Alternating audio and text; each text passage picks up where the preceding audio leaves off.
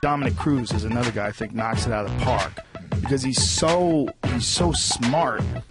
in his assessment of risk and reward and putting yourself in a position where your opponent doesn't exactly know what you're going to do, but you know how he's going to react.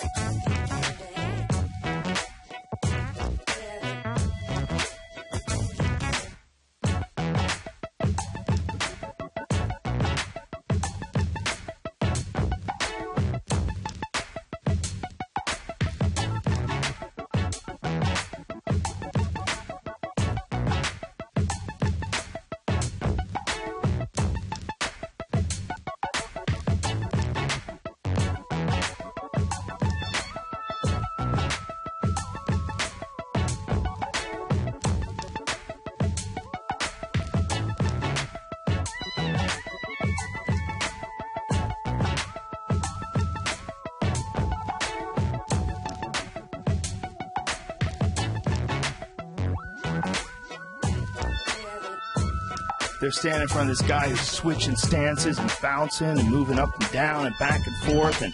you're not exactly sure what the fuck he's doing.